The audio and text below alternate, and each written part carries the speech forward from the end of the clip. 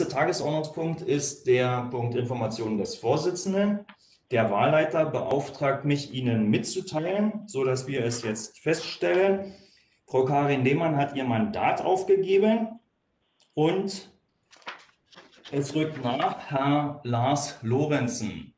Herr Lars Lorenzen hat sein Mandat angenommen und ist damit ab sofort vollberechtigtes Mitglied der Stadtverordnetenversammlung Fürstenwalde-Spree mit allen Rechten und Pflichten. Über letztere wird sie ihr Fraktionsvorsitz aufklären.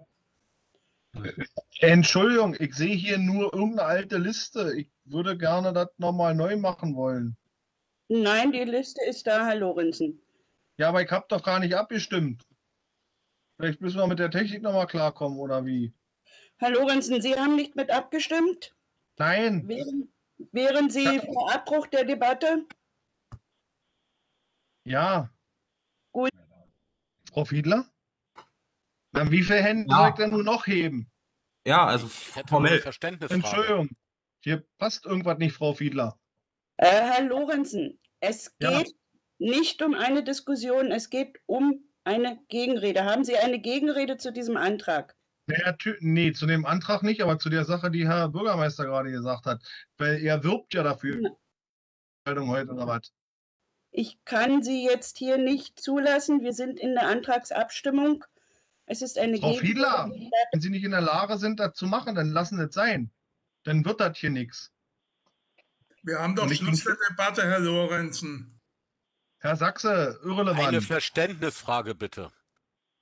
Ich hier, bin heute im falschen Film oder wie? Herr Lorenzen, lesen Sie sich bitte unsere Geschäftsordnung durch. Vielleicht wird Ihnen dann einiges klarer.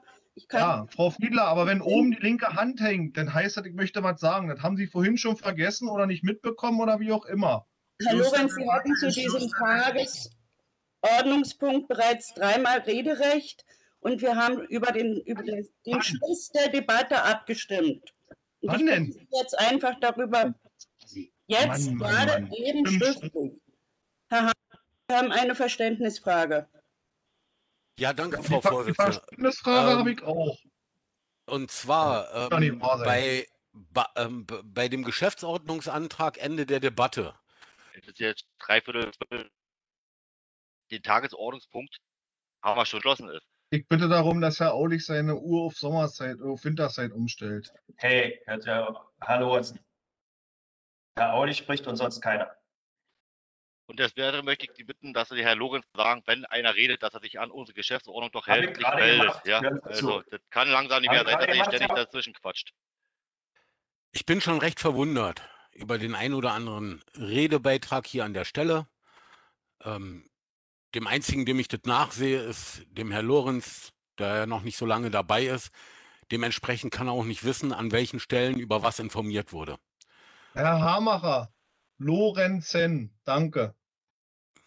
Herr Vorsitzender, könnten Sie vielleicht dafür sorgen, dass Ihr Fraktionskollege sich einfach mal hier an unsere Geschäftsordnung hält und nicht in einer Tour ununterbrochen gegen diese verstößt? Ich würde mal sagen, da wäre einfach mal eine förmliche Rüge an der Stelle ähm, fällig oder haben Sie Ihre Sitzung nicht im Griff? Natürlich, Kai, wenn noch einer Hey, meinen Namen aussprechen kannst. also ansonsten mit dazwischen. Herr Koch, darf ich, Auch in Ordnung, Herr Lorenzen, Sie sind nicht dran. Ich wollte ich nämlich, möchte gern, ich ich wollte möchte gerne, gern, ich möchte gern, Herr Sachse, ja? Dann gibt es Wortmeldungen. Herr Lorenzen hat sich gemeldet.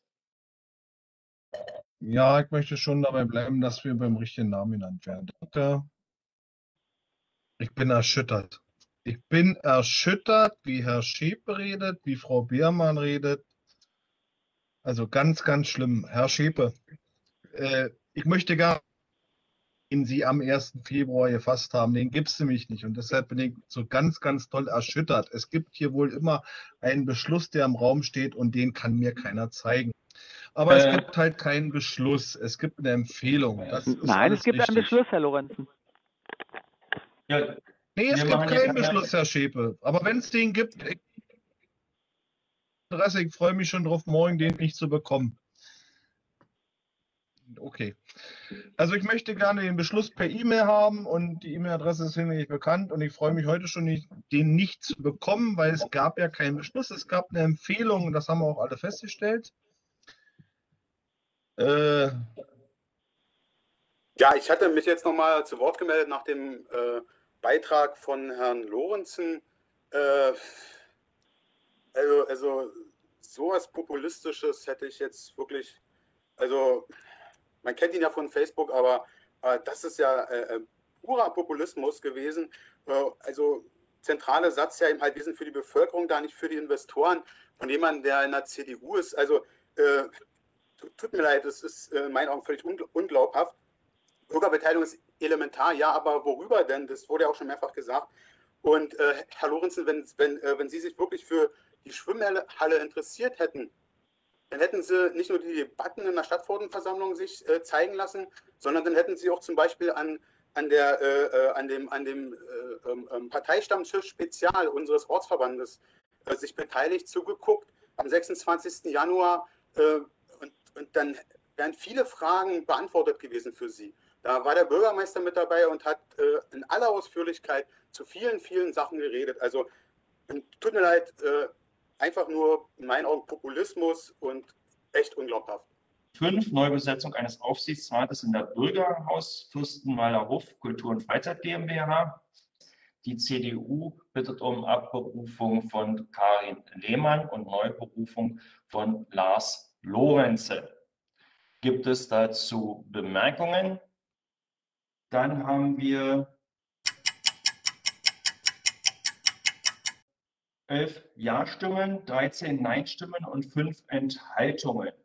Da wir einen gemeinsamen Beschluss hatten, sowohl Abberufung und Berufung in einem Punkt, ist Frau Lehmann jetzt nicht abberufen und Herr Lorenzen nicht berufen.